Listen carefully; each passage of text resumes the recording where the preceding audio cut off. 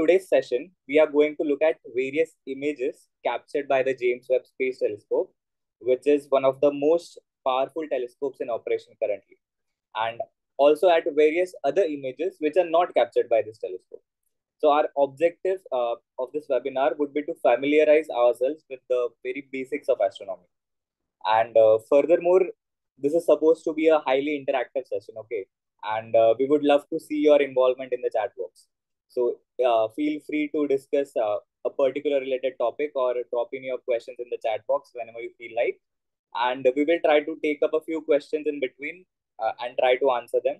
And also depending on the availability of time, we may also take a, a few questions at the end. Okay, so interaction is very much important for this session to be a success. And we will also have a quick photo session towards the end. So make sure you don't miss out on that as we would love to see all your smiling pictures uh, on our social media platform. And finally, we will also announce our upcoming events towards the end. And um, I hope you all are excited for this cosmic journey. And let's get started. I guess, uh, Pravesh, you have already started the recording, right? Yeah, it's started. Okay, so let's begin. Yes, so the title of the talk, Introduction to Astronomy Through the Eyes of JWST. So here JWST stands for the James Webb Space Telescope. And to begin with, let us look at the first image, the very first image, which was captured by the James Webb Space Telescope. So on the screen that you're seeing now is the first image, which was captured roughly a year ago uh, by the James Webb Space Telescope. And this is what the image is. So let us try to understand what this image is about. So just imagine uh, you are holding a grain of rice in your hand you are holding a grain of rice in your hand and you're pointing it at the sky at night at a random place in the sky okay? So this particular image is basically that small portion of the sky with which uh, with which you are actually pointing at the sky okay? So in this very own uh, in this uh, image that you are screen uh, seeing on the screen you are seeing thousands of galaxies except for a few stars these, these are few stars but except for these uh, objects like these, every other dot or every other object that you are seeing in this image is a galaxy.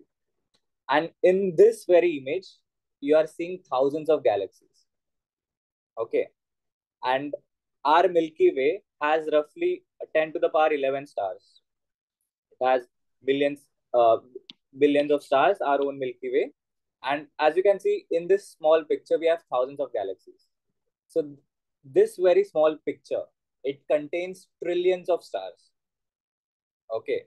So the patch of the sky of the size of a rice grain contains almost trillions of stars. Trillions as in 10 to the power 12. So just imagine how many stars are there in our entire universe. Okay. And then the most obvious question is, are we alone? Well, for now, we have not detected any alien species. But looking at the size of our universe, looking at the number of stars in our universe, we can definitely expect that there may be some alien life hiding somewhere. Okay. So let's look at uh, the telescope which has captured this image. So this is the JWST telescope. And uh, as you can see, uh, this is a three mirror telescope. So this is the first mirror, the primary mirror. This is the secondary mirror. And there is another tertiary mirror, which is behind this primary mirror. And there is a fourth mirror, which is just a plain mirror. So these first three mirrors, the primary, secondary, and the tertiary, which is behind this, these are curved mirrors. Okay, these are curved mirrors. But the fourth mirror is a plain mirror that we, similar to the one that we use at our homes, which is a plain mirror. So this telescope contains basically three curved mirrors and a fourth plain mirror. Okay. So how do uh, how how does this telescope capture the light coming from an object? So light coming from an object, it first falls onto the primary mirror. Okay. After reflection from the primary mirror, is go it goes onto the secondary mirror, and again it gets reflected from the secondary mirror onto the tertiary mirror, which is the third mirror. And finally, after again reflection from the tertiary mirror, it falls onto the fourth mirror, and again one more re reflection takes place and finally it goes on to the detector which is behind this primary mirror okay So there are hmm. lots of reflection there. There are basically three mirrors, three curved mirrors, primary, secondary, tertiary, and finally one flat mirror. So after these many reflections, the light is finally collected onto the detector. So now there must be a question like why to use so many mirrors? Why not use one mirror? Why not use two mirrors? Why are we using like this three mirror curve system? So the answer is uh, basically uh, if you'll uh, go for higher studies and learn optics, you'll uh, you'll come to know that three mirror system is sufficient to give a very uh, uh, what a very clear image. Okay, if you do if you just use a single mirror, it will have some distortions if you use two mirrors, there will still be some distortion, but uh, it will be lesser compared to the first case. But if you use three mirrors, it is the best possible image that uh, is possible theoretically. So that is why we use a three mirror system. And the fourth mirror is just to uh, deflect the light rays onto the detector. That is why we use a three mirror system. Okay. Next, uh, you are seeing that the primary mirror is plated with gold. Okay, you are seeing gold color here. So basically, this primary mirror is made up of beryllium. Okay, and the coating on the beryllium is made up of gold. So mirrors are made up of beryllium because beryllium is a sturdy structure, so it should not get damaged. That is why it is made up of beryllium and it is coated with gold because gold is a good reflector of infrared light gold is a good reflector of infrared light. Now, why am I talking about infrared light? Because our telescope, the JWST, it observes infrared light. It observes infrared light. Now, what is infrared light? So, we all know that light is a wave, okay? And we see different colors of light, okay? But that is only a small portion of the electromagnetic spectrum. We have many different kinds of light waves. For example, radio waves, you must have heard about ultraviolet rays, infrared rays, microwave, X-rays, gamma rays. These are all different forms of light waves. Okay. And our telescope is primarily watching infrared light. Okay. And gold is a good reflector of infrared light. And that is why the mirrors are coated with gold. Next, uh, what you are seeing in so this uh, we have a image question. is okay. Uh, does the gold uh, not get not get damaged?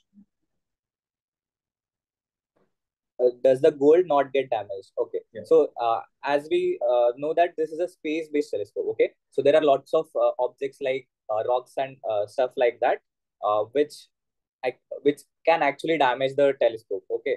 So it is definitely possible that objects like these rocks which are floating out in outer space, they may damage, and that is why I was coming to the next point of this particular uh, object. So this is a shield. Okay. So this is also the telescope mount and this is also the shield. Okay. So what happens is this, uh, the purpose of the shield is to protect the telescope body from damages and damage does not happen only from uh, the stone. The damage can also happen from sunlight. The damage can also happen from light which is coming from the moon. The, the damage can also happen from the light which is coming from the earth because uh, earth is also emitting light moon is also emitting light sun is also emitting light as in okay so the purpose of this shield is to protect our telescope body from uh, from this harmful radiation okay? And uh, further uh, this gold thing it can be damaged by rocks but if if uh, there are some systems which are able to correct for any small damages but if the damage is uh, a lot more then uh, of course the, teles- the telescope can be damaged permanently. But that is one of the reason that if you are uh, seeing that our primary mirror uh, is made up of these, hexagonal segments okay? So uh, why are why was the primary mirror made up of such hexagonal segments? So one uh, primary reason is that it is easier to manufacture uh, tiny tiny mirrors rather than make one large mirror. So the size of our telescope is size of this primary mirror is six and a half meters. Okay, so this is a very large mirror. Okay, so it's very difficult to fabricate a very large mirror, and that is why uh, it is easier to make such small units and then assemble them together. Okay, but uh, another reason is as uh, as the question has been pointed out that what if the telescope uh, mirror gets damaged? Okay? So if one of the units get damaged it's still fine because the other units are functioning properly okay so that is also one of the reason uh, why this telescope mirror has been made up of different segments. I hope i have answered the question. Um, are there any more questions pravesh? Yeah. Ishan is asking can you please please explain the mirror system with a diagram? Okay uh, it's very difficult to draw a diagram in the limited space I have, but let me just show it to you again. Uh, so uh, let us say light is coming from this side, okay? I'm drawing it in white. If light is coming from this side, uh, we have this uh, primary mirror here, okay? Which is curved in this particular fashion, okay? So then what happens when light falls onto this primary mirror, it gets reflected in this fashion and it falls onto the secondary mirror, which is here. I'm drawing the mirror in the red color. This is the secondary mirror and this is the primary mirror. Okay. Again, now after reflection from the secondary mirror, uh, again, uh, so after reflection, the light will come back again in this particular fashion. And there is a small hole, which is this black colored portion that you can see. There's a small hole in the primary mirror so light will enter through this small hole in the primary mirror and there is the tertiary mirror at the back. Okay. And again, finally, after reflection from this tertiary mirror, is the tertiary mirror here in red. And again, after reflection from the tertiary mirror, it will fall onto the secondary mirror, uh, onto the fourth mirror, which is just the flat mirror, which is placed behind the primary mirror. And finally, sorry, and finally, after reflection from the flat mirror, it will go on to the detector, which is I have shown in blue here. And uh, that is how the reflection takes place. Okay. Uh, and if you still want to know, I have drawn a very messy diagram here because of the limited space. But if you would like to know more, you can always uh, contact us, us, us on the WhatsApp group, and I'll be able, I'll be happy to share with the actual diagram of the uh, JWST mirror system. Okay. Um, so can we move on, Pravesh? Yeah. Okay. So as I pointed out, our uh, the primary mirror is six and a half meters in length. Okay. And so let's look how the mirror looks compared to the human size. So as you can see, there are these scientists which are trying to uh, look at the primary mirror and you can see that how large this particular mirror is. And you can just then try to uh, comprehend how difficult it would have been to launch this uh, telescope system into space. So this is the size uh, of uh, six and a half meter. Okay, you must be familiar with the previous telescope, which was the Hubble Space Telescope. So Hubble Space Telescope had a, a diameter of 2.1 meter, and our JWST has a diameter of 6.5 meter. So it is roughly three times uh, bigger compared to the Hubble Space Telescope. Okay, and this mount that we were seeing in this uh, image, the size of this mount is of the order of uh, roughly the size of our tennis court. Okay. So it's such a huge system, and that is why it took a lot of money to actually manufacture, fabricate, and then further launch it into space. Right. So it took, I guess, few billion dollars to just uh, make this telescope operational.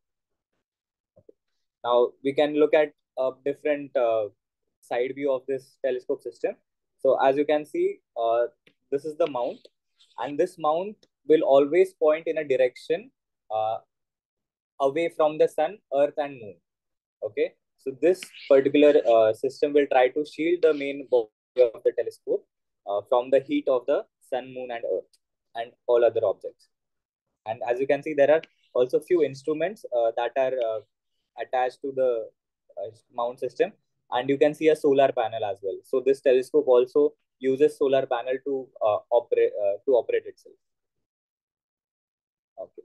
So now there are four major instruments which are assembled on this telescope uh, telescope system, and we are not going to discuss all these uh, in detail. But let me just give you a short idea what these instruments are. So the first instrument is the MIRI, which is the mid infrared uh, mid infrared region imager. Okay, so that observes mid-infrared light. Next is the NIRSPEC, which is the near infrared spectrograph. What is a spectrograph? We are going to talk about that. And uh, and this particular imager is imager is nothing but a detector kind of thing, a telescope system, which is used to collect light and obtain an image. This is NIRSpec, which is a spectrograph. Uh, spectrograph I'll talk uh, in a while. NIRCam is again a camera similar to MIRI, but it works in the near infrared region. Okay, and there is this system called FGS, which is the fine guidance uh, guidance guidance sensor, which is used to point the telescope at a particular object. Okay, so we if we have to look at a particular object, we should be able to align our telescopes appropriate appropriate in the appropriate direction, and for that, this FGS instrument is used. Okay. So let's move on. And a very obvious question that may have come to your minds is that why uh, do we need space-based telescopes? Why is there a need for space-based telescope? We can set up telescopes on ground as well. So why do we have to uh, spend so much money and uh, on such space-based telescopes? So there are two reasons. The first primary reason is that uh, our Earth atmosphere will allow only some portion of the light to pass through. It all it only allows visible light and radio light to pass through it. Okay. And as I told you at the beginning, that our telescope is observing in infrared region. Okay. So our Earth's atmosphere, it blocks most of the infrared light. It only allows some infrared light to pass through it. And since we want to observe infrared light, uh, that is why we uh, send we have to send our telescope outside the Earth, uh, Earth's atmosphere. The second reason is that our Earth atmosphere is not stable. Okay, the atmosphere, the temperature it keeps on changing, changing, and as a result, the atmosphere is not stable. It keeps on uh, uh, having some turbulent motion. It has its own temperature variations as well, fluctuations and so on. And that is why the image that we get using ground-based telescopes, it is not very clear. So that is, it keeps on moving, it keeps on uh, distorting, and that is why uh, we have to uh, send uh, telescopes outside our Earth's atmosphere. So that is, these are the two primary reasons uh, why we uh, send telescopes outside the Earth's atmosphere. Okay. So now let's get back to this first image uh, that was captured by the JWST and let us look at few of the properties. Okay. So what we are actually seeing, we are seeing a galaxy cluster at the center. We are seeing a galaxy cluster at the center. So this luminous thing object that you are seeing at the center is the galaxy cluster. Okay. And the name of the galaxy cluster is SMACS 0723. The name of this galaxy cluster is SMACS 0723 and it is a homework for you to identify what this SMACS actually means. Okay, it is a nomenclature system, it is a naming system, and what this SMACS actually stand for is a homework thing for you. So let us uh, understand what a galaxy cluster is first of all. Okay, and to understand what a galaxy cluster is, we need to understand what a galaxy actually is. Okay, so let's start with our own uh, very familiar galaxy, which is the Milky Way. So this is an artist image of a Milky Way, and it is not the true image because we cannot go out and take selfie, right? This is an artist image, uh, very far away from the center of the galaxy. Somewhere here is our sun, and somewhere near the sun is our Earth, and so that is uh, what is happening. That our sun and many such uh, stellar systems, these uh, all these dots that you are seeing in this image, these are all stars and these stars are revolving around these uh, around this gala luminous bright center that you are seeing. Okay? So now wh why do these stars revolve around this galactic center? So the obvious reason is gravitational force. So you know that earth and other planets they revolve around the sun because of the gravitational force. So in a similar way because of the strong gravity of this central region okay the other stars that you are seeing in this image they revolve around this uh, galactic center. Okay.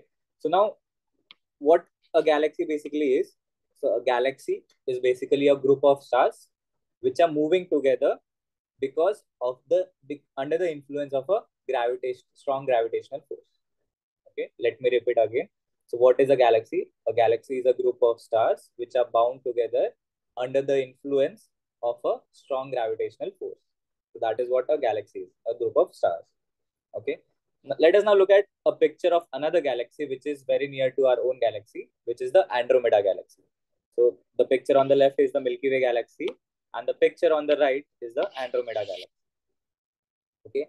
And it is expected that four and a half billion years later, these two galaxies will collide. These two galaxies will collide. And now, why will they collide? Again, because Milky Way has its own mass, Andromeda has its own mass, so they exert a gravitational force on each other. And because of this gravitational force, it is expected that four and a half billion years later, these two galaxies will collide and merge into one. Okay.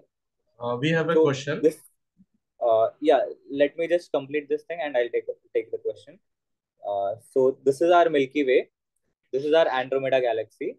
Okay, and you are seeing very tiny galaxies which are revolving around the Milky Way. Okay, and there are other other, few tiny galaxies which are revolving around the Andromeda galaxy. Okay, so now why are these tiny galaxies revolving around the Milky Way? Again, because of the gravitational force between these galaxies. And similarly, these galaxies, they are also revolving around each other. Again, because of the influence of gravitational force. Further, these two groups, these two small groups, they are moving together because of the gravitational force. And these, this, this entire structure, it is bound together because of the gravitational force between them. And that is why they form a structure or a group, which is called the local group. And this is nothing but a galaxy cluster. So what is a galaxy cluster? A galaxy cluster is a group of galaxies which are moving together under the influence of the gravitational force. Okay. Yes, Pravesh. Uh, Priya, Pranay, and Ishita asking the same question. Uh, they have known that in the center of the Milky Way galaxy, there is a black hole. But why okay. is it so bright in the image? Okay, so that is a very interesting observation, all three of you. And uh, we are going to talk more about black hole and why uh, it is that the central portion is illuminated towards the end of this talk. Okay, so black holes uh, is a concept that we are going to cover towards the end of this talk. So we'll take up that question that time. Okay. Any other question, Pravesh? No. Okay. So let's move on. And uh, please remind me if I forget to take up this question, but I won't. So let's look at another image which was captured by JWST. So again, uh, except for these star-like objects, okay, except for the stars, every other object that you are seeing in this image is a galaxy, okay. But there are few prominent galaxies which are visible. So this is one galaxy, this is second, this is third, this is fourth, and this is fifth, okay. So there are five galaxies in this picture, and you can see the third and the fourth galaxy, these are actually merging together. Okay. And uh, so it is expect as I told you, it is expected after four and a half billion years later, Milky Way and Andromeda are coll will collide. But out there in our universe, there are already many such galactic collisions happening. And our JWST has been able to identify one such galactic collision. Okay. Now, this uh, picture is named after an astronomer called Stephan, and uh, the name is basically Stephan's quintet. So, this quintet actually means five. So, you must have heard singlet, doublet, triplet. Uh, four is quartet, and five is quintet. So, that is why the name Stephan's quintet. Okay. Now, let's come back to our image, uh, which is this. And let us uh, now look at something. So, what we know is that this galaxy cluster, the light coming from this central galaxy cluster is 5 billion years old. Okay. The light coming from this galaxy cluster is 5 billion years old. So let us assume that this image was captured today, although it was captured roughly an roughly a year ago. But let us assume that this image was captured today. Okay. And but the light coming from the galaxy cluster is not of today. It is 5 billion years old because the galaxy cluster is very far from us, light from that object will take some time to reach the telescope. So how much time is it taking? It is taking 5 billion years for the light from the galaxy cluster to reach the telescope. Okay. And that is why this galaxy cluster is very far away. Few light, uh, few billion light years away from us. So even if we assume that the galaxy cluster is 5 billion light years away, light years away. This is a very far distance, okay? So this is not how the galaxy cluster looks like today. It looks like this. It looked like this 5 billion years ago. And it is roughly 5 billion year light years away from us. Okay, not exactly 5 billion light years, but let us assume that it is 5 billion light years away. So now how much is this distance? I'm not, we are not able to imagine this, right? So let us understand what a light year is basically. So as the name suggests, light year, okay, light year. So it is nothing but the distance traveled by light in one year. Light year is nothing but the distance traveled by light in one year. And what is distance? Basically, distance is, you all know that mathematically it is speed multiplied by time. Right? Distance is nothing but speed multiplied by time. Okay. So what speed we should take? We should take the speed of the light. Okay. And what year should we take? We should take one year because we are trying to calculate one, what is one light year. Okay. So on the left hand side, we are trying to calculate one light year. And on the right hand side, we have speed into time. So the speed of light is 3 into 10 power 5 kilometers per second. 3 into 10 power 5 kilometers per second. Okay, that is the speed of light. That is 3 lakh kilometer per second. Now we should multiply this quantity by one year. We should multiply this quantity by one year to get what one light year is. So now let's break up one year. So one year, as we know, is made up of 365 days. One year is made up of 365 days. One day is made up of 24 hours. One day is made up of 24 hours. One hour is made up of 60 minutes. One hour is made up of 60 minutes. And finally, one minute is made up of 60 seconds. One minute is made up of 60 seconds. So when you multiply all these numbers, you'll get what one light year is in terms of kilometers. So when you actually do the multiplication, it will come out to be approximately 9.46 into 10 power 12 kilometers. So that is basically one light year. Okay. But our galaxy cluster was 5 billion light years away, right? 5 billion light years away. So when you do the calculation, it turns out to be roughly 4.73 into 10 power 22 kilometers. So approximately you just write 5 and 22 zeros kilometer away. So just imagine how far the galaxy cluster is. And to give a comparison, our Earth's circumference is only 40,000 kilometers. So if you have to go around the Earth, it will take roughly 40,000 kilometers. And that uh, so you can just compare these two numbers okay so how big that difference is so we'll have to make so many rotations uh, of the uh, revolutions of the earth just to uh, reach that galaxy cluster okay so let's again come back to our image and one peculiar thing that we can observe in this image are the distorted galaxies around the center there are some distorted galaxies around the center let me point out a few so as you can see here, you are seeing a distorted galaxy. This is a distorted galaxy. This is a distorted galaxy. This is a distorted galaxy. Here is another distorted galaxy. So as you can see, they are forming kind of a circular pattern uh, around this galaxy cluster.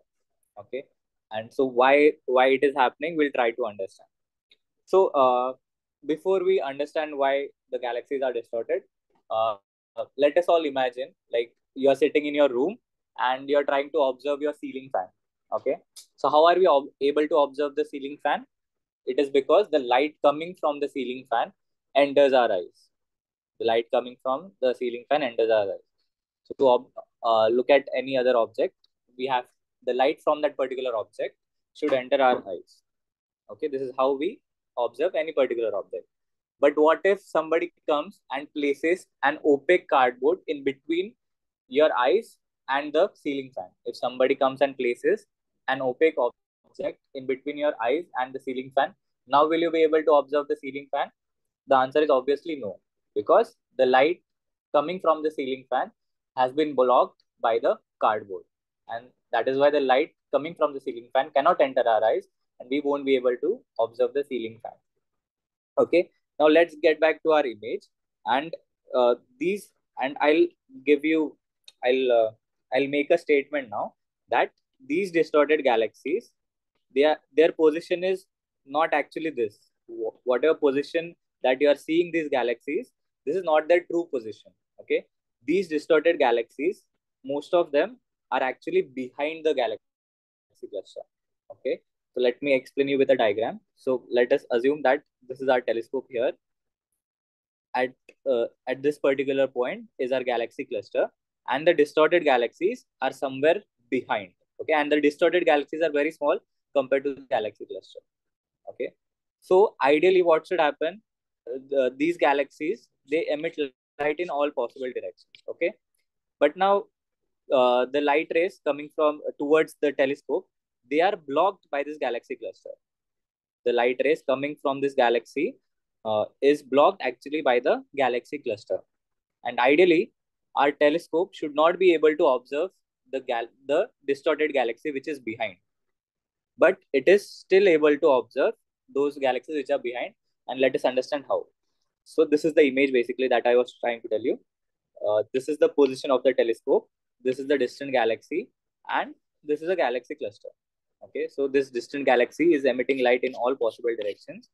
But as you can see some of the light it is traveling towards the galaxy cluster okay along these particular path but the galaxy cluster is a very massive object. It is made up of so many stars so many galaxies and that is why this will have a very strong gravitational influence on the light.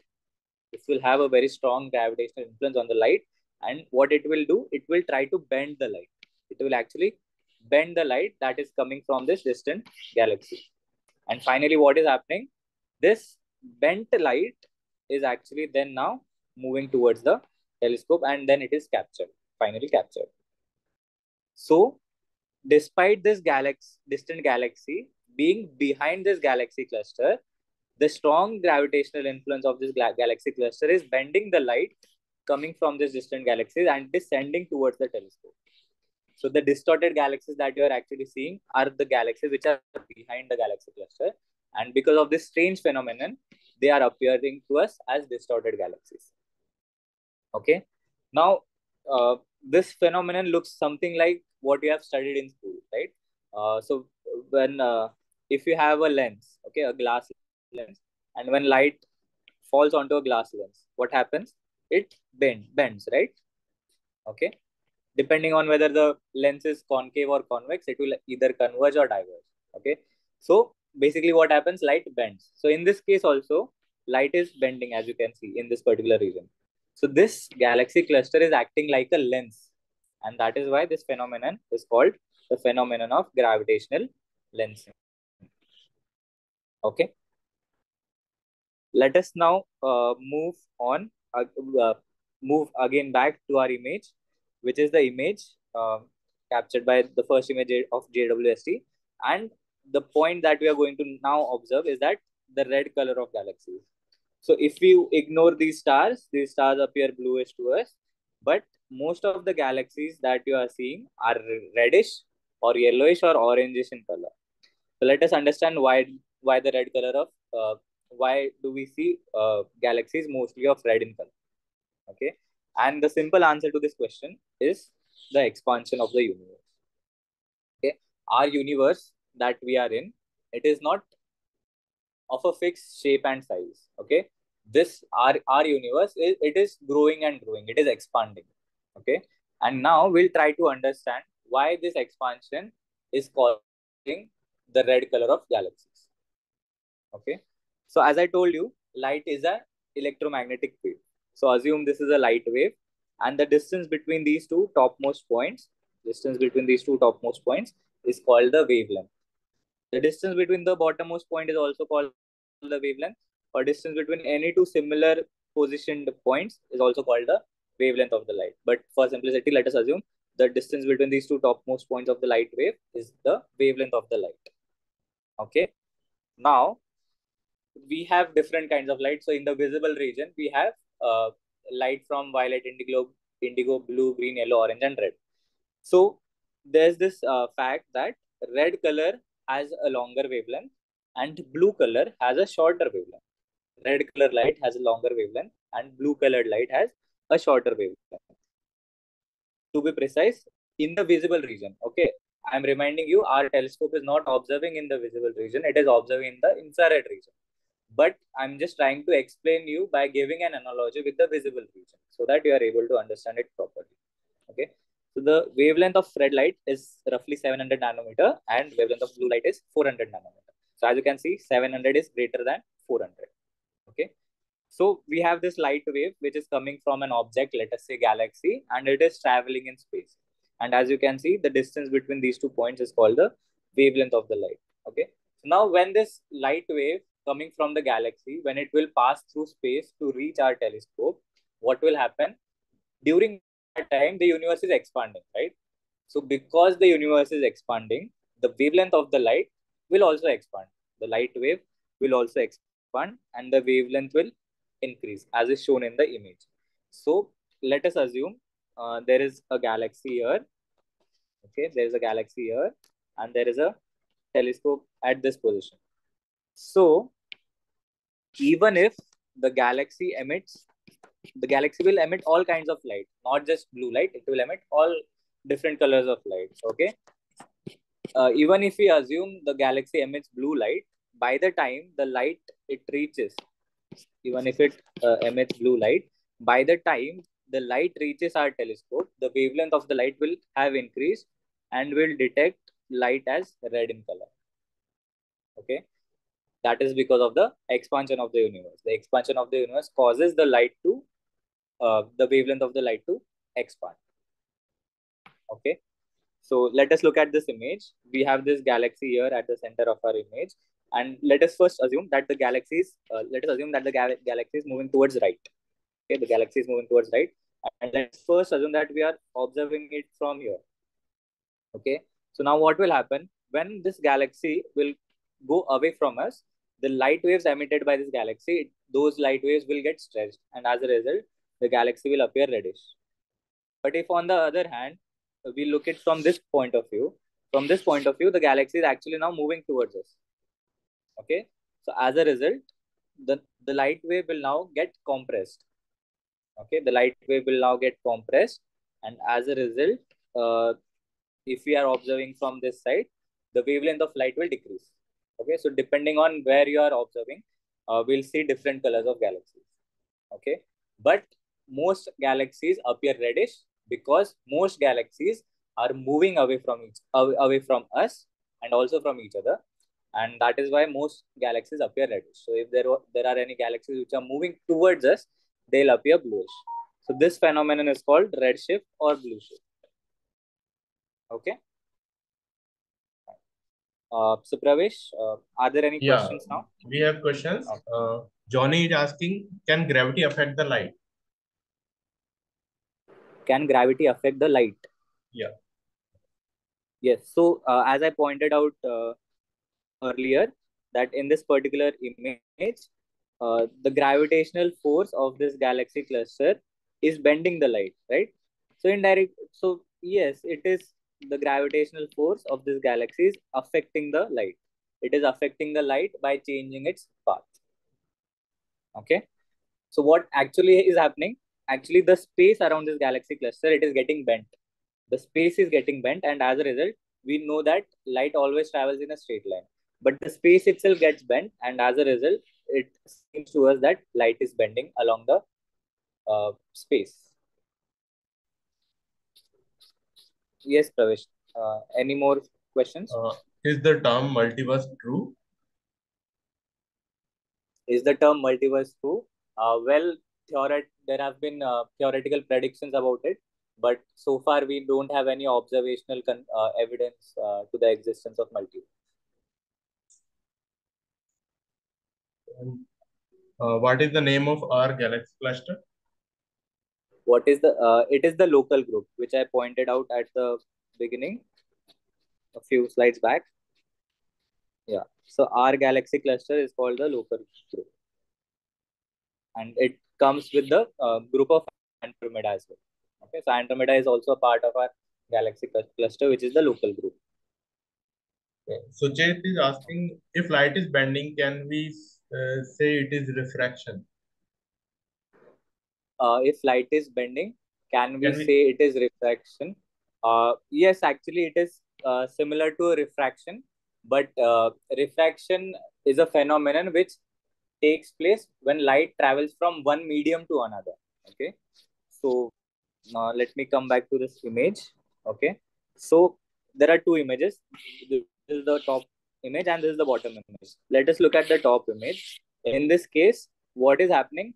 The light rays are getting bent, okay, because of the gravitational force. The medium is not changing. This is light is still traveling in vacuum itself, okay. So the medium is vacuum. The medium in which light is traveling is a vacuum. So in this case, the phenomenon is a bit different, and that is why this phenomenon is called gravitational lensing. But in the phenomenon uh, pointed in the uh, bottom diagram, what is happening? When light is traveling from vacuum to glass, this is glass, right? When light is traveling from vacuum to glass, that is why it is getting bent. So this phenomenon is called refraction. So although the phenomena appear similar, they are actually different. Okay. One happens because of the gravitational force and the other phenomenon happens because of the change in the medium through which light is traveling. Ishita is asking, how did astronomers find out universe is expanding? How did astronomers find out that universe is expanding? That is a very uh, brilliant question. And uh, to answer that, uh, we'll have to understand what spectroscopy is.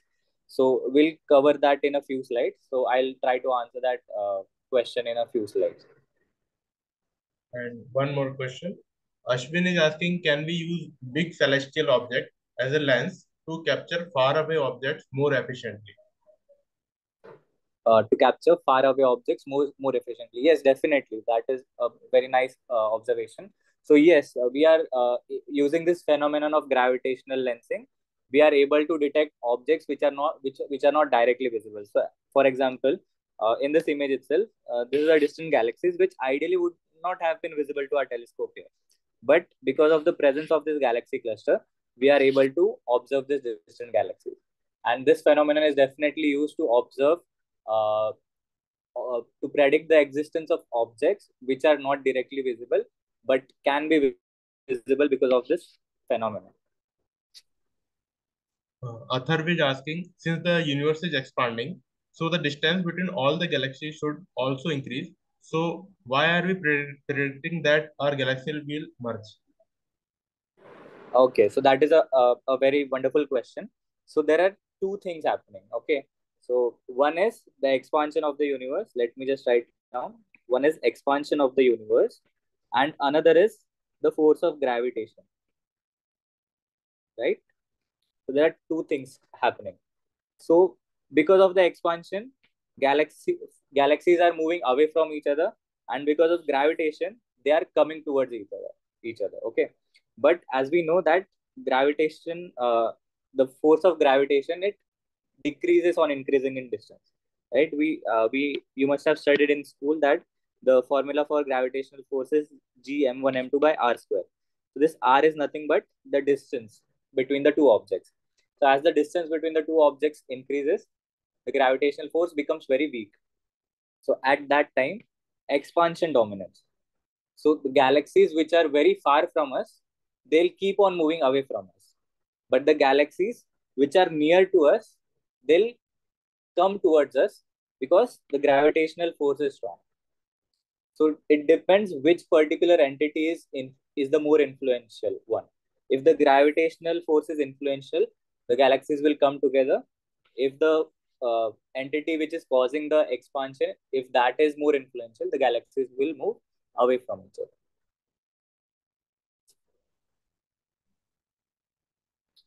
Uh, uh, the merging of so two guess, galaxies uh, could affect our solar system? Uh, does the merging of two galaxies affect our solar system? Uh, well, actually, it should not. It is a very tiny possibility that it will affect the solar system or the life that exists on Earth. For example, if Milky Way and uh, Andromeda collides, basically uh, not much change will happen in the uh, solar system or the Earth. That is because most of the space between these galaxies is vacuum. Okay, only a small amount of space is occupied by stars, Earth, and uh, stars, planets, and other objects. So if the uh, when they are actually colliding, actually the material is not colliding okay just the centers of these two galaxies are merging and most of the materials will actually pass through the empty space in between so not much distortion will happen most of the phenomenon will happen uh, towards the center and it won't affect objects which are very far away from the galactic center uh, so can we move on? We are uh, short. Uh, we are short on yes, time, yes. and if there are if there is time left, so we'll uh, take questions towards the end. Uh, so let's look at another image which was captured by JWST, which is the image of exoplanet WASP 96b. So now again, why this WASP name is given? That is a homework, and let us now understand what an exoplanet is. So an exoplanet is a planet which is outside our solar system. So a planet which is revolving around a different star other than the sun is called an exoplanet. So in this image, uh, this is a star and this is the planet. Okay. And this is not a true image. This is an artist image. But the actual true image is this particular graph that you are seeing here. Okay. So uh, this graph on the y-axis, you see that it is written amount of light blocked. And on the x-axis, we have wavelength of light. So this graph is called a spectrum. This graph is called a spectrum.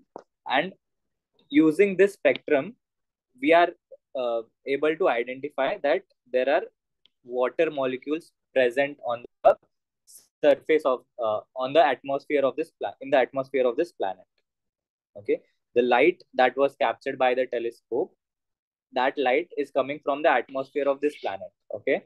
And based on the spectrum of the light what is spectrum we'll uh, talk shortly. But this is nothing but the spectrum. And based on this spectrum we are able to predict that this planet's atmosphere has traces of water in it.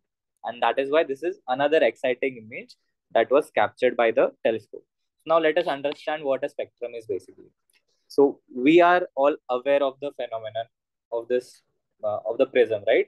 That when sunlight which is made up of all the colors when it is passed through prism it split and it splits into it into its constituent colors okay? Violet indigo blue green yellow orange and red.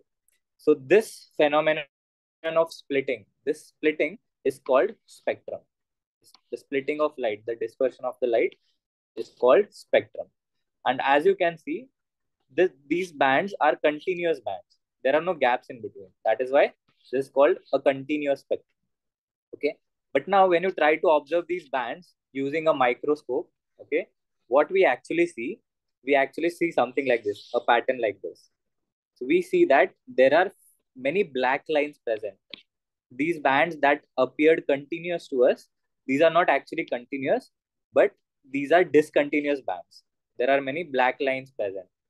So what is happening? What is black basically? What is the color black? color black is the absence of light, right? So what we are actually seeing that some wavelength, so on the uh, x-axis that you are seeing, that is the wavelength, right? So some lines are missing, some colors are missing, right? That means some wavelength of light is missing from this spectrum. So based on this pattern, we are able to predict what elements are present in the source. So this is the sun, this is the sunlight, right? And this is the spectrum of the sun. This is the spectrum of the sun. So based on the position of these missing lines, we are able to predict which elements are present in the atmosphere of the sun. Okay. And these lines, these uh, missing lines, these patterns are actually very unique, just like our fingerprints. So the fingerprints of two human beings cannot be same. Similarly, uh, the spectrum of different elements is unique. For example, if uh, you look at the spectrum of hydrogen okay? So what do what do i mean by the spectrum of hydrogen? So let us uh, assume that there is a box and you fill this box with hydrogen gas okay? Fill this box with hydrogen gas and then you send light through this transparent transparent box. Assume this is a transparent box and you send light through this box and then when you collect this light uh, from this transparent hydrogen box and then you send it through a prism what will happen? This will this light will split and you'll get a pattern similar to this. Okay, you'll get a pattern similar to this. Okay, this is hydrogen gas in the uh, box. Okay, so this pattern that is formed will be very unique. Now, if we if you replace the gas with uh, if you replace the hydrogen gas with some other gas, you'll get a similar pattern, but a very different one. As in, the position of the black lines will now change for the spectrum of helium. Okay, so that is how we are able to predict what elements are present in the atmosphere of the object that we are trying to observe. These patterns are very unique. And this, this, and this study is basically called spectroscopy. And this spectroscopy is actually gives uh, gives lot more information. It just not just tells us which elements are present. It also tells us about uh, the temperature of the object. It also tells us uh, helps us to identify the distance of the object. And uh, there was one question as well, right? How do we know that the galaxies are moving away from each other? So based on this spectrum itself, there is a mathematical formula. I'm not going to go deep into that. But based on the spectrum itself, we are able to tell that the galaxies are actually moving away from each other. Okay. So uh, let's move on and now get back to the image that we were interested in. So this, as you can see, is the spectrum basically. So on the y-axis, you are seeing amount of light blocked and on the x-axis, you are seeing the wavelength of light. So this graph basically tells us which particular color of light is getting absorbed and which color of light is uh, reaching us. Okay. So on the basis of this, we are able to tell that water is actually present in the atmosphere of the planet. Okay. Now let us look how these exoplanets are actually detected. Okay. So these exoplanets are actually very small. We are observing a star which is very far away. So it appears very small. The stars appear very small to the telescope. Okay. Further, the planets are themselves smaller than the uh, star around which they are rotating. Okay. So what happens sometime, most of the time, the telescope is not able to directly detect the small planet. Okay. So, uh, so our telescope uses a method called as transit light curve to detect uh, an exoplanet. So how it is done? So let me draw a diagram here. So let us assume uh, this is our star. Okay. I'll draw it in red. This is our star. Okay. And we have a planet in blue. Okay. Right here, which is orbiting this star. We have this planet, which is in blue in color, which is orbiting the star. And this is the position of our telescope, T. Okay. So when this planet is outside, when this planet is outside this year, uh, what happens? The light coming from the star is getting collected by the telescope. Okay. But now when this planet starts entering in between, so when the planet starts entering in between, what happens? It tries to block the light coming from the star.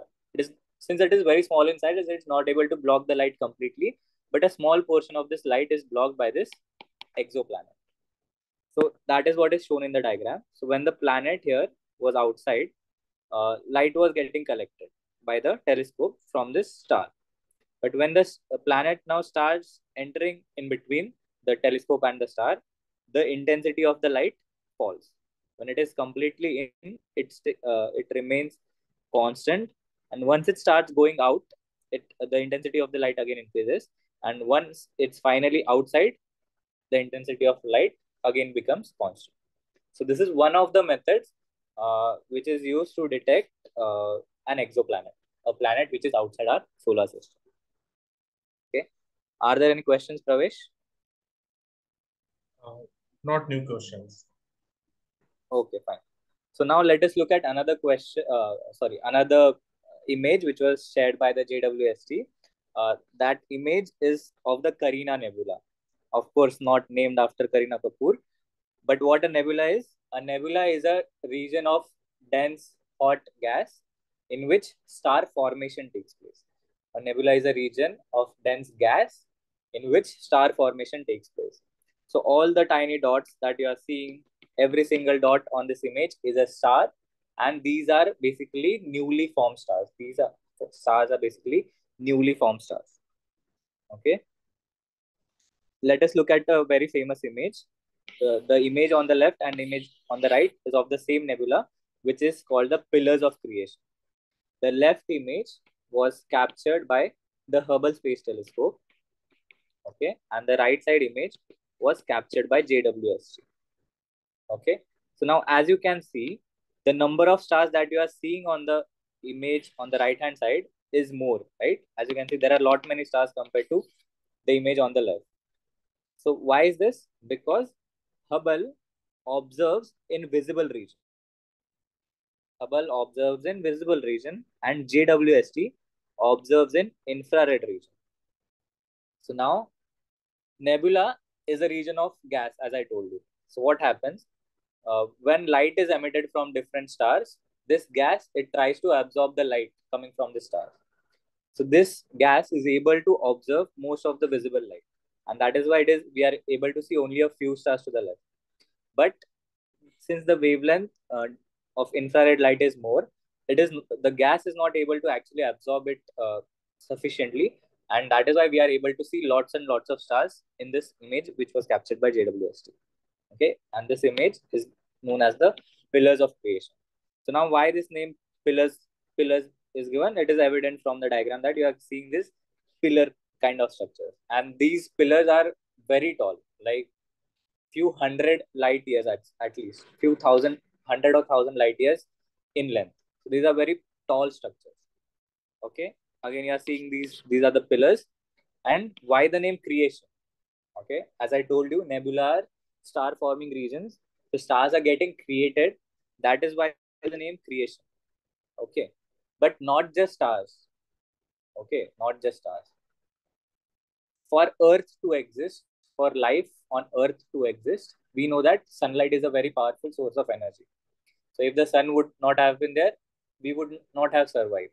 Okay. So similarly, it is quite possible that not just stars are getting created, but maybe these are also the sources of alien life. And that is why the name Pillars of Creation. Okay. So that is why uh, you can see that infrared astronomy is important as well because infrared uh, light can give more information.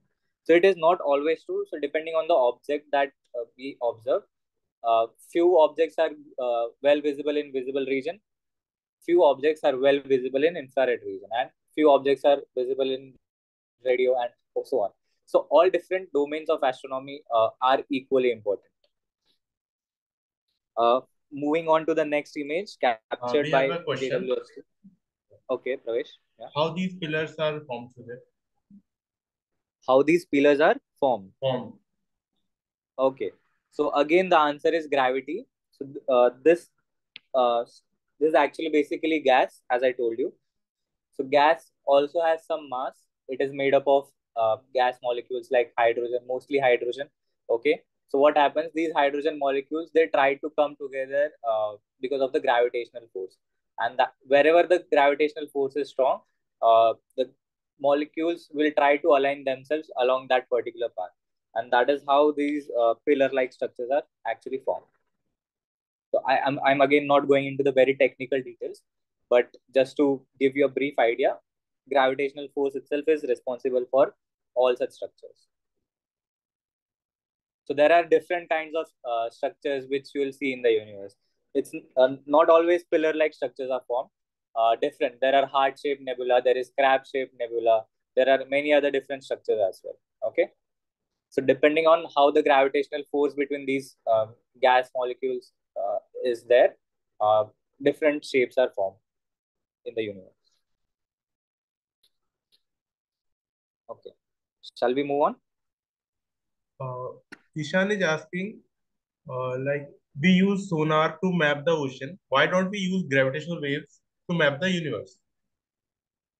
We are actually doing it. We are using gravitational waves to map the universe and uh, maybe it's it's been just a month, not even a month, I guess. Uh, recently, gravitational waves were detected, uh, nanohertz of the or the frequency of nanohertz, and you must have read in the newspapers or article somewhere that nanohertz gravitational waves were detected, and India had a very important role to play uh, in the detection. So if you just try to uh, search for uh, something like INPTA, which is Indian pulsar timing array. You just try to put it on Google and you'll see that India has played a uh, very large contribution in detecting these nanohertz gravitational waves. And these waves are definitely being used uh, to map our universe. Uh, one more question. If how can we say that space is vacuum yeah. if so many gases are present in the universe? Okay so this uh, these gases these are not uniformly distributed okay these are uh, distributed according to some structure okay uh, maybe for now we can consider that these gases are distributed randomly but most of this uh, most of the space is vacuum okay and we are able to tell this based on observations using various telescopes, uh, various space-based missions, ground-based missions. We have been able to map uh, the structure of our universe. And what we have found out that most of the space uh, is made up of vacuum and only a small portion of the space is made up of material. So I guess that answers your question. And let's uh, move ahead since we are short of time. And uh, we'll look at this image, uh, which is the image captured by JWST. And this is a planetary nebula. The name of this uh, planetary nebula is the Southern Ring Nebula. So how is it different from the planetary nebula? So the previous nebula that we saw, that is the that is the region where stars were getting formed. In this particular planetary nebula, this has nothing nothing to do with planets. The name somehow got stuck. But in case of a planetary nebula, the, it is a region where stars die. The planetary nebula is a region where stars actually die. So in the image you are seeing, uh, in this uh, slide you are seeing actually two images, and these are the image images of the same nebula. The left image is in the uh, is captured by MIRI. I guess so. And uh, sorry, this the left image is captured by NIRCam, which is the near infrared camera, which I told you, and the right image is captured by MIRI. I'm still very not sure, but I guess you can uh, Google and confirm whether I'm I'm right or not. So the left image is captured in a different wavelength. The right image is captured in a different wavelength, and we are able to identify different uh, as you can see, uh, let me just point out that when you observe at the left image, you are able to see a central star here, and this star is actually dying. So when a star dies, it explodes, and when it explodes, it uh, emits all kind of material energy, and this actually gas that you are seeing is the uh, basically the elements which are let out in this explosion. So you are seeing a single star here. But now when you are observing using a different wavelength region, you are actually seeing double stars. Here. These are not, this is not a single star, it is a double star system, binary star system, which is actually dying and it dies in the form of an explosion, which we call it as a super, uh, as a planetary nebula explosion. Okay. And luckily or coincidentally, we'll say a galaxy was also captured uh, when this image was taken. So when you, it, it, it also happens sometimes you try to observe some, some object and something else gets observed observe as well. Okay, so let's briefly look at the evolution of a star. I'm not going to go into the various uh, mathematical details again, uh, but generally, a, when a star evolves, it evolves in uh, three, uh, it can take three different paths of evolution. It can take three different paths of evolution. Okay, so smaller stars, smaller stars as in stars like the sun, okay, like sun, they follow this particular path, the first path. Okay, so they grow in size, and just before their death, they explode as a planetary nebula, and finally they become this object which is called the white dwarf. This is a white dwarf. White dwarf because it has become a very small star now. It has died, and that is why the name white dwarf. Okay. But now bigger stars, bigger stars, very bigger stars than the sun, they then take two different paths. Okay. So first they grow in size, they become red giants. Red giants are very massive, uh, uh, very huge stars. And then just before their death, they explode. This ex uh, just like the planetary nebula explosion, they explode. This kind of explosion is called a supernova explosion. And then they uh, either become this neutron star. This is a neutron star. Or they become black holes. And this is nothing but a supernova explosion. Supernova. Okay. So now how this supernova explosion is different from the planetary nebula explosion. Uh, actually, the elements that are released, they are also different. But this supernova explosion is very much powerful compared to this planetary nebula explosion. Okay. So for example, let us assume there is a galaxy here. Okay. And this galaxy is made up of billions of stars. Okay. Now, if our telescope or our own eyes, maybe if we are observing uh, this particular galaxy, we'll be able to collect some intensity of light coming from this galaxy. Okay. And for now, eh, no star has uh, no star has exploded. So our telescope will record some intensity of light. But let us assume a very big star. It has it is now in the process of dying. So what will happen? It will explode. So now when this uh, explosion will take place, this explosion it will be very bright. It will be so bright in some cases that light coming from other different all the other stars will be smaller compared to the uh, light coming from this one single star okay may not be smaller but almost of the comparable intensity so this one sing one single star's explosion is so powerful that is it is able to dominate light from all the other billions of stars. So this is this is how powerful this supernova explosion can be. Okay? And based on the size of the star again smaller stars comparatively they become neutron stars and bigger stars comparatively they become black holes. Okay? So now let us try to understand what are black holes because this is a very fancy word and i guess most of you would be interested in understanding what a black hole is right? So let us try to understand black hole. So as i pointed out very big stars when they die they first explode as a supernova and finally uh, something remains which is called a black hole. Okay? But let's try to understand black holes from a different point of view so suppose you are standing uh, on the surface of earth. So let us say this is the earth okay and you are standing on the surface of it and you are holding a ball in your hand. What will happen if you throw the ball upward? The ball will go up some distance and it will again come back. It will go to a certain height and it will come back. What if now you try to throw the ball with some more velocity? It will go to a higher height and it will come back. But if you somehow devise a technology with which you are able to throw the ball with a velocity of 11.2 kilometer per second, if you are able to devise some technology with which you are able to throw this ball with a speed of 11.2 kilometer per second, what will happen? The ball will actually go out and never come back. So this particular number, 11.2 kilometer per second, is called the escape velocity of the Earth. Escape velocity of the Earth. Okay. So in the first two cases, why was the ball coming down? It was basically because of the gravitational force of the Earth. So this, if we provide sufficient energy to the ball, it will it is able to escape the gravitational influence of the Earth. And that is why this number is called the escape velocity of the Earth. Okay. And this escape velocity is independent of the mass of the object. So whether you, are, you want to throw a ball or whether you want to throw a rocket, you'll have to launch all objects with the speed of 11.2 kilometer per second if you want the objects to escape the earth. Okay.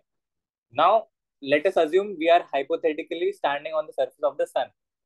Now we all know that sun is more massive than earth and it has a stronger gravity, right? So if we are standing on the surface of the sun hypothetically and we now try to do this experiment, what will happen? We'll have to throw at a much larger velocity because 11.2 kilometer per second, this velocity will not be sufficient. Sun has a different escape velocity. I don't remember the number, but it is definitely much greater than 11.2 kilometer per second. So to throw an object outside the sun's influence, it will uh, take us a lot we'll have to give a lot more velocity. Okay. Now imagine you are standing on the surface of a black hole. Okay. Now imagine you are standing on the surface of a black hole. So now if you want to do this experiment again, so what will happen? You are standing on the surface of a black hole hypothetically, and now you want to throw something out. So black holes have such a strong gravitational force that not even light cannot escape from it. That even light cannot escape from it. And we know that the speed of light is 3 lakh kilometer per second. Okay. So if you are standing with a ball in your hand on the surface of a black hole and you want to throw the ball, you will have to throw at a speed which is much larger than 3 lakh kilometer per second. So not light, which is the fastest object, even that cannot escape the gravitational force of the black hole.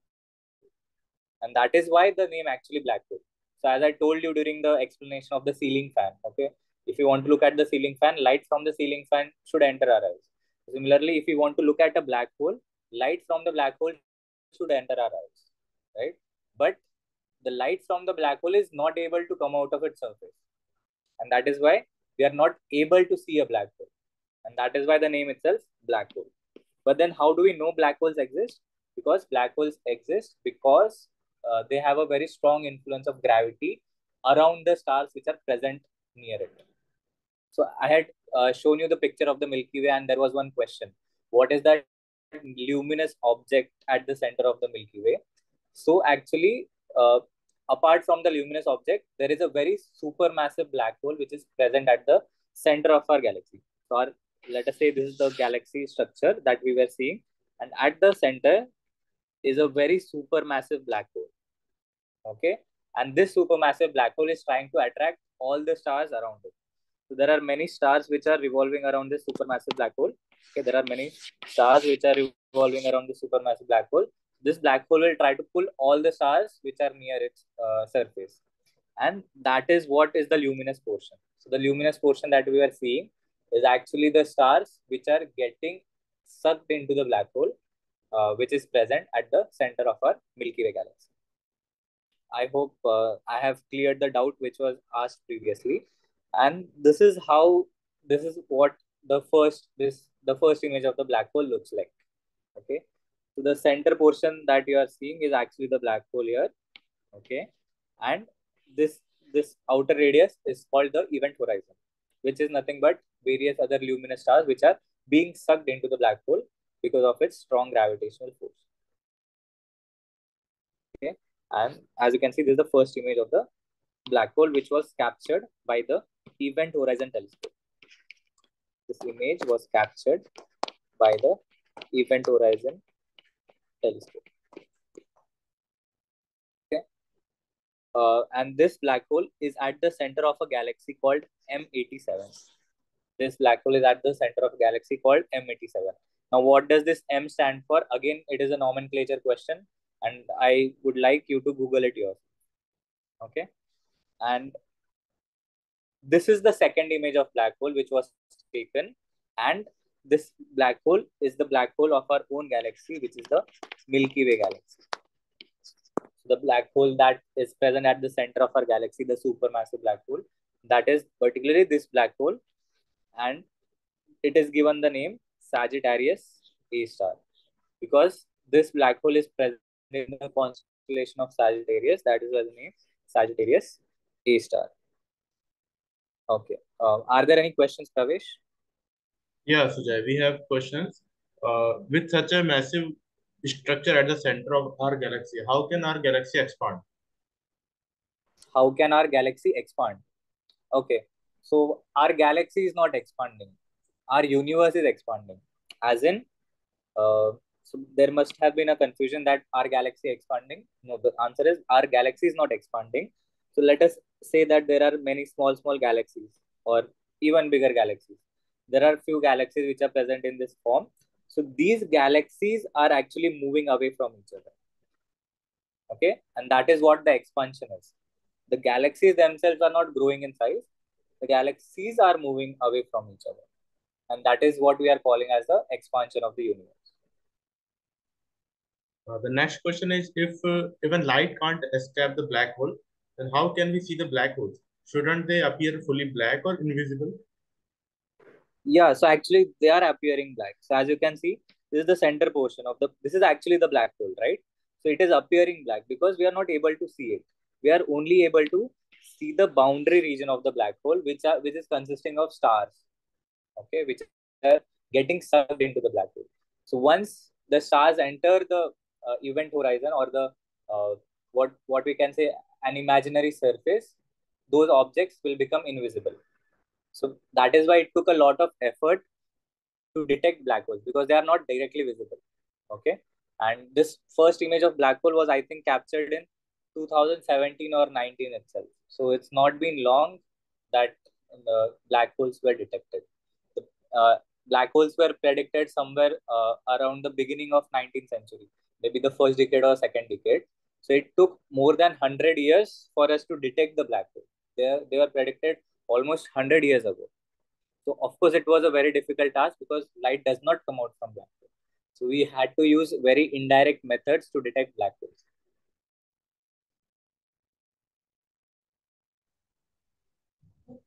Uh, any more questions, Pravesh? Yeah, we can address them later. Okay, we are almost uh, uh, near the end of the talk now. Let us quickly look at few other images. So this is the image of Jupiter, which was shared by JWST. And as you can see, uh, the telescope is so powerful that it is able to detect various features on the surface of the planet. You are able to see the northern lights as well. Uh, so you have heard of northern lights that happen that take place uh, at the poles of the Earth, right? Similar phenomenon happens at the poles of the Jupiter as well. These are the northern lights of Jupiter, or we can call them as aurorae, and we are able to see the small features on the surface of the planet as well. And this particular feature is the great red spot, which is present on the surface of the planet, which is nothing but a cyclone or a hurricane, you can call it, which is happening at the uh, surface of Jupiter. Uh, further, another image uh, which was captured by JWST of Jupiter as well. In this image, you are again able to see the aurora, the great red spot, and few of the few features. But you are now also able to see the uh, satellites of Jupiter, that is the moons of Jupiter, and you are also able to see the rings around Jupiter. Okay, so that is how powerful this telescope is.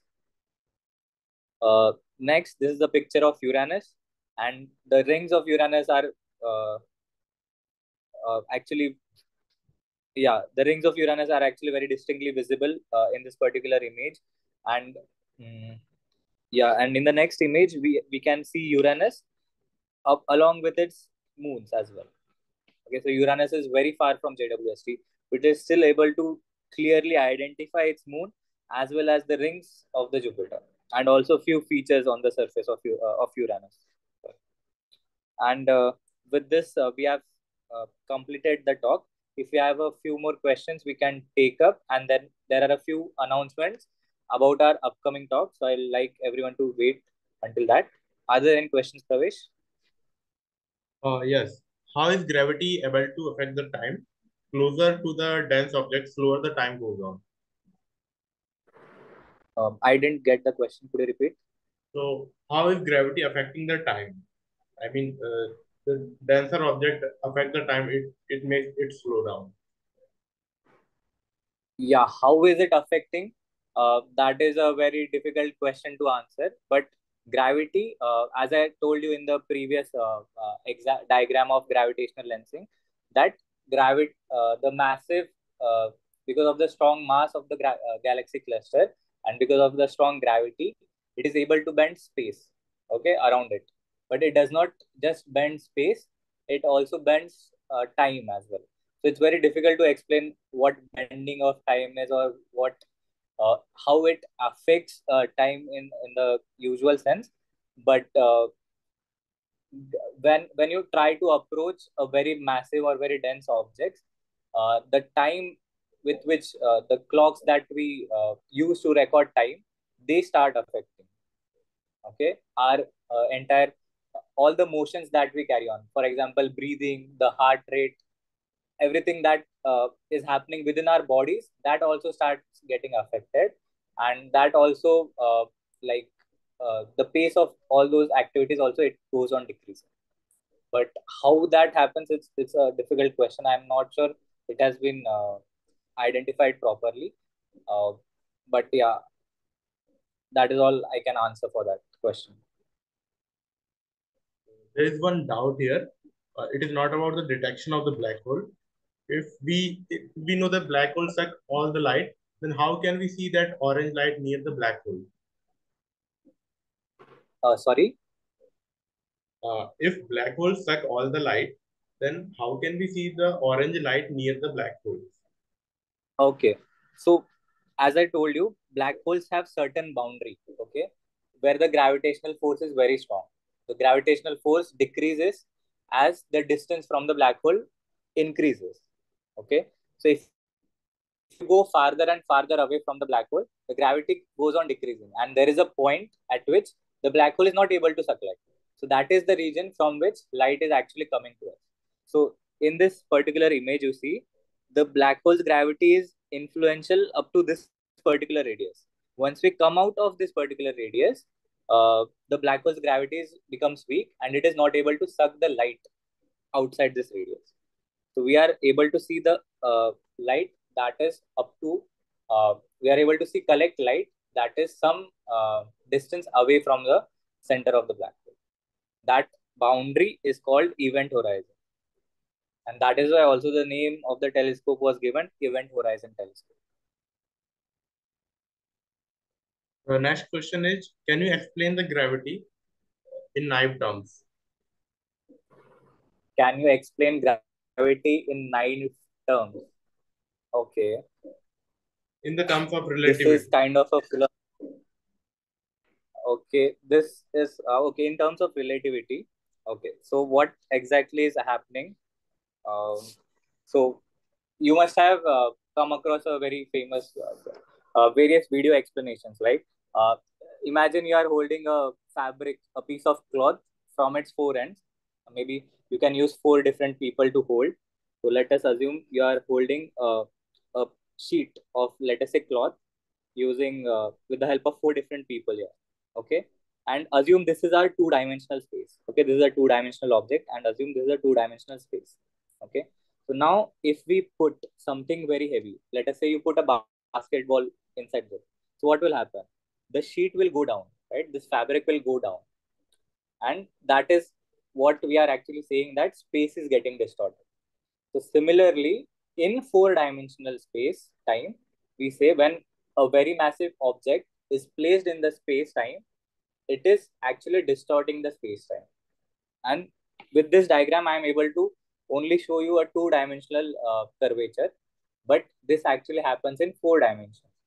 The space the three dimension of space and the four dimension of time.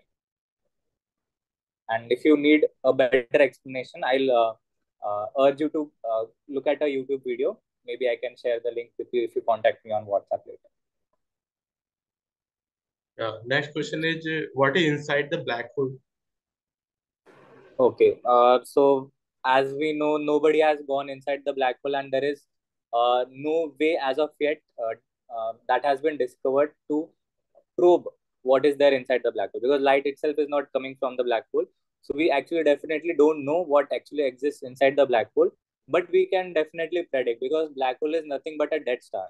Okay, so whatever elements that were present in the star before just before its explosion, whatever elements remain those are the elements um, that are supposed to be present inside the black hole. But what happens to those elements once the black hole is formed, nobody knows. Do they get converted into a different element? Do chemical reactions happen? Uh, we have no such idea as of yet uh, as to what actually is present inside the black hole. So I think it's nine o'clock and uh, we should uh, stop. And uh, before we close in, uh, I would just like to tell you that we are Edurved Foundation. We are available on Instagram, Facebook, LinkedIn, YouTube. We are mostly active on Instagram to try so try to follow us on Instagram. There are some educational videos available on YouTube as well, so you can uh, follow us on uh, subscribe on YouTube as well. And let me tell you what is the upcoming webinar. So our upcoming webinar is uh, supposed to happen on 6th August from 7:30 p.m. to 9 p.m. tentatively. The topic is how do planets form. So we have studied uh, about exoplanets. We have looked at few images from the solar system itself. So in the next talk, we are going to explore more on planet formation, how our Earth, other planets in the solar system, and few of the planets which are outside our solar, solar system, how are they formed, and what information do exoplanets give information about the formation of, Earth and other planets inside the solar system. So that is uh, a talk. Um, which is upcoming. I guess Pravesh will share the link uh, in the chat box. You can register by going onto the link. You can also join the WhatsApp group to keep yourself updated uh, with the webinar, uh, with the events of Edurved Foundation. And uh, then next, we also have speed cubing uh, or Rubik's Cube uh, webinar. So that will be taken by my friend Abhijit. is he available, Pravesh, right now? Yeah, he has joined. Okay, so Abhijit can take over. Uh, and before that, we also have an upcoming talk on Chandrayaan 3. Uh, so, in a, as you know, Chandrayaan 3 was launched um, just a few days back. It is supposed to, uh, the rover that is, uh, that is with the Chandrayaan 3, it is going to uh, land on the moon on 23rd or 24th August. So, on 27th August, that is the Sunday of that week, we are going to have a uh, have our webinar on on, on that particular event. So with this, I'll stop sharing my screen and I'll uh, hand it over to Abhijit. Uh, he'll give you a brief demo about what the uh, Rubik's Cube experiment will actually contain, consist of. So Abhijit, you can go on. Yeah. Yeah. Uh, hi, everyone. I, I hope you guys enjoyed uh, the lecture that uh, Sujay gave. And you guys asked good questions towards the end. Uh, so this is an upcoming webinar. Uh, Sujay is my friend, and I've been speed cubing for the last uh, 10 years. So um, I would be just introducing you to how it is done. And um, so uh, uh, I'll just give a brief demo of how it's done. So there are a few thousand people who compete in competitions. And uh, currently there are 17 events and there are four blindfold events. So uh, I I have I hold a national record in uh, one of these blindfold events. So um, uh, so that that gives me a bit of uh, upper edge compared to the rest of the cubers, and uh, uh, my time would be faster than other cubers. So yeah, I'll just give a brief demo. This is a three by three. You have other puzzles, a five by five. then there is a Megaminx. like I have 300 of them. I won't bore you with each and every shape but there are a lot of puzzles and only about 11 of these puzzles are allowed in a competition. And there are 17 events out of this 11 puzzles. So yeah, I'll just mix up uh, three by three and show you a solve. Uh, yeah, and if you guys have any doubt, you can ask. I'm just hand scrambling first.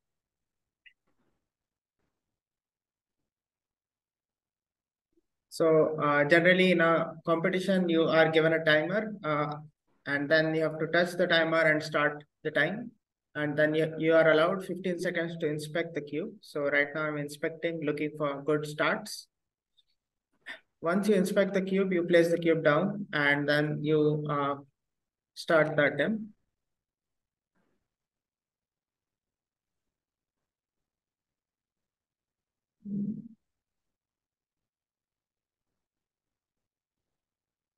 Once you're done, you place the timer back. So this is how solves are done. Uh, there are a lot of competitions around India and the world. And uh, so this is nothing too serious. I did it in 10 seconds. A uh, few hundred people in India can do it. But I would be doing this uh, blindfolded. Uh, so that would be one more thing before you guys go and have dinner. So I'm again scrambling up the cube mode. I have an eye mask here which I'll be wearing hopefully uh, perfectly. And then I'm taking off my headphones because I need to memorize. So uh,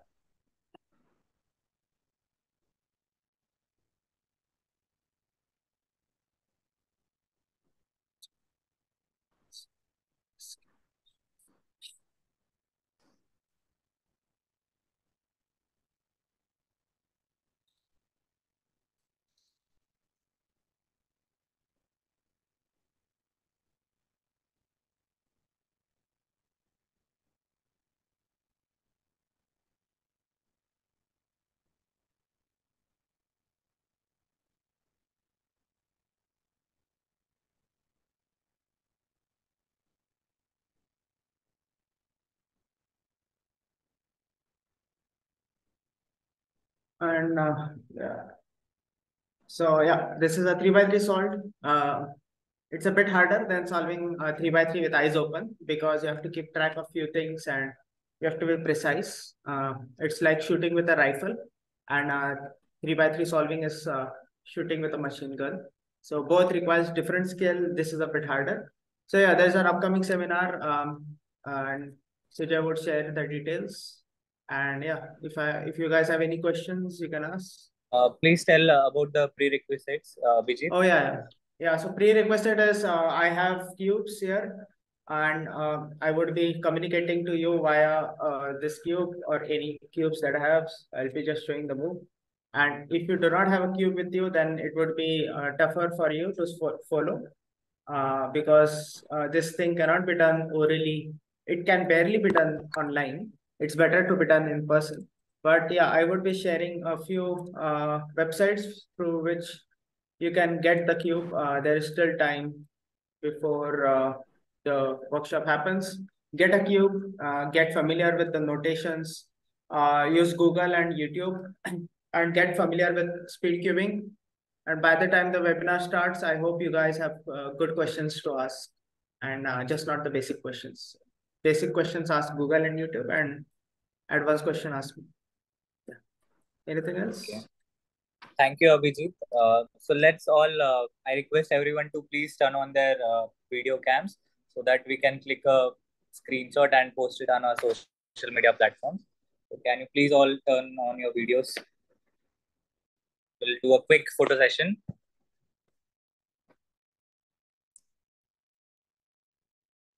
Yeah.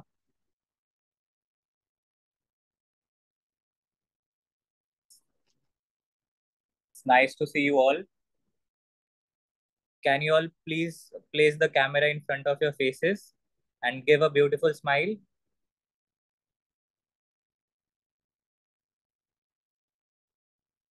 Yes, Abhijit, uh, Pravesh, can you please try to take few screenshots?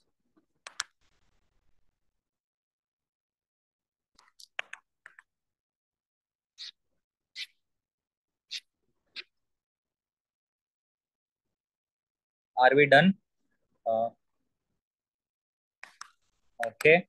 Abhijit has taken few screenshots. Pravesh, have you? Yeah, I have taken. Okay. Chalo. Thank you all. Thank you, Pravesh. Thank you, Abhijit. It was, and thank you, audience. It was nice interacting with you all. And we'll see you soon in our upcoming webinar.